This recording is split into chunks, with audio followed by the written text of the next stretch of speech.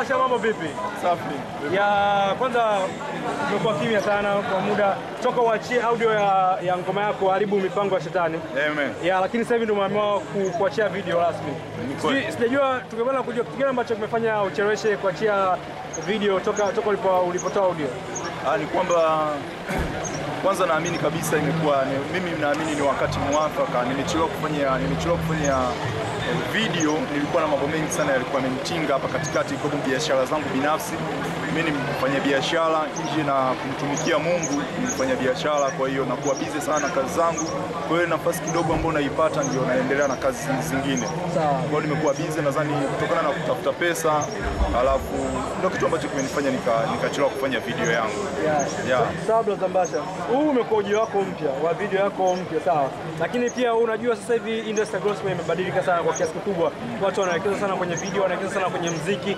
Sijajua wewe wewe umeobserve vipi na kitu gani ambacho unadhani hiki ni kipi ambacho watu hawajawahi kuona kwa basi ambacho sasa hivi umekuja nacho? Amen.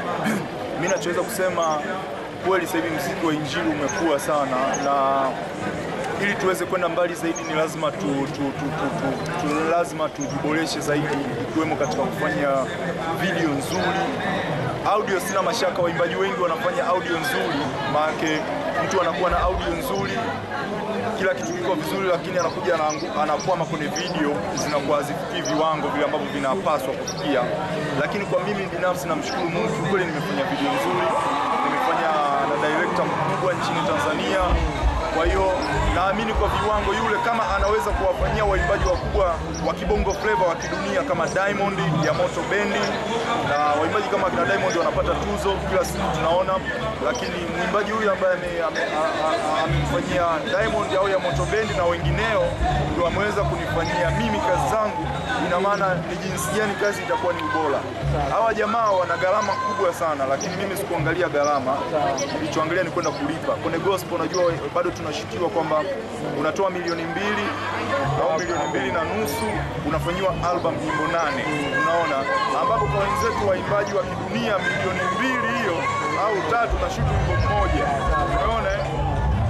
Sasa basi na mimi nikaenda kufanya kwa wale wa madirekta wa kidunia ambao ni wakubwa ambao wanawafanyia waimbaji wengine, mimi nikaenda nikalipa pesa za kutosha, na ninachomshukuru Mungu nimefanya nyimbo saba. Sawa, nyimbo saba. Kwa hiyo nyimbo saba hizi ni nyimbo kubwa sana ambazo naamini zitaenda mbali sana. Unataka kuniambia umeshuti nyimbo zote saba Yeah. kwa director wewe huyo? Yeah, Kwa director huyo Zime- Zimekosti kiasi gani kwa mfano labda? pesa nyingi sana, yani ningenunua gari nzuri tu. Kwa hiyo kwenye kazi ya Mungu. Sawa. Ah, tunakujua umekuwa mwimbaji kwa muda mrefu. Sawa, toka miaka hiyo ya elfu mbili na sasa hivi miaka imeenda.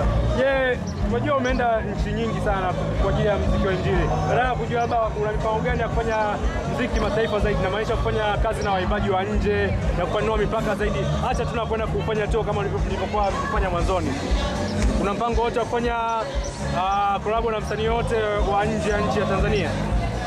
Ya, nina mpango wa kufanya kolabo na waimbaji wengine ambao hapa hapa kwanza nyumbani nimeshafanya na Hondo wa Matias, nyimbo yetu nzuri sana, lakini na kuna waimbaji wa Kenya ambao nimeshafanya nao mawasiliano, nadhani nitafanya nao kazi nzuri, itatoka hivi karibuni, na naendelea kujipanga vizuri zaidi kuhakikisha kwamba huduma yangu mimi mwenyewe binafsi inaenda mbele zaidi, lakini licha ya kwenda tu mbele zaidi, lakini kiuchumi pia, najua huduma inaenda mbele pia, na wewe mwenyewe uko vizuri kiuchumi. Kwa hiyo kote kote inabidi ujipange. Sawa. Kwa mfano Kenya ni, ni nchi ambayo iko iko iko advanced, tunaamini hivyo kwenye mpango kwenye mziki wa Injili. Kwa mfano ukitaka kufanya kolabo Kenya, wewe utapenda kufanya na msanii gani labda kutoka Kenya?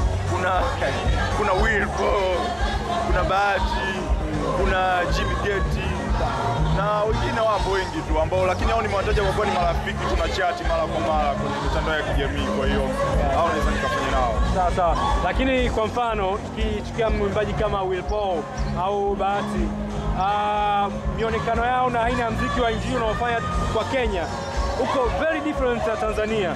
Huhisi kama kufanya nao kolabo kunaweza kukaleta utata mkubwa sana ku- ku- kupresent labda nyimbo yenu au video yenu kwa Tanzania? Hapana, hapana. Unajua Kenya ni Kenya, mionekano kule hawajali sana. Kwa hiyo wao kwa Kenya, kama Kenya wao wanachukulia sawa kwetu huku, lakini mimi nitampeleka kinyumbani tulivyo, kwamba wavae hivi, wapendeze hivi, wafanye hivi, mradi mwisho wa siku nataka tuuimbe injili iliyonyooka. Ukifuatilia nyimbo zangu nyingi, mimi ninaimba injili ya Yesu Kristo, kipindishi pindishi, sio kwamba yaani naimba injili iliyonyooka. Sawa, una, una maswali brother? Mimi nitakuzungumzia nitakuzungumzia swala zima la usambazaji wa kazi. Umesema kama unafanya kazi moja kwa shilingi milioni mbili, kazi yako unasambaza mwenyewe ama na mtu? Ah, mimi sisambazi mwenyewe, nasambaziwa na Umoja Audiovisual au MAM. MAM ndo anasambaza kazi yangu. Kwa MAM kama msambazaji mkubwa ndo anasambaza kazi yangu, na tumesha saini naye mikataba kila kitu, na kazi kuanzia Jumatatu ya kesho kazi inatoka mtaani. Kwa sababu umesema hii ni huduma, lakini kuna gharama zake. Sasa kwa wewe, hii ni huduma ama ni kazi? Kwa sababu pia gharama hizi ambazo video tunatarajia kwamba ziletee malipo mazuri, kwa nyingine zaidi. Eme, naamini nimewekeza pesa nyingi, lakini naamini zitarudi. Ni huduma, lakini ni pesa nyingi pia nimeweka katika kumtumikia Mungu. Kwa naamini zitarudi tu, hamna shaka. Maana tutauza sokoni, tutauza ringtone, tutauza YouTube. Kwa hiyo pesa zitarudi, na watu wananunua DVD ili waone majumbani kwao. Kwa hiyo ni pesa, kwa hiyo naamini zitarudi. Kwa hiyo hakuna shaka. Kwa ujumla, albamu yako ina nyimbo ngapi? Ina nyimbo saba, Albamu ilikuwa na nyimbo kama kumi na mbili, leo nimeshuti nyimbo saba. Yep. Barikiwe sana, nawapenda sana, tuko vizuri sana. Asanteni sana, nimefurahi kuwaona ndugu zangu waandishi wa habari.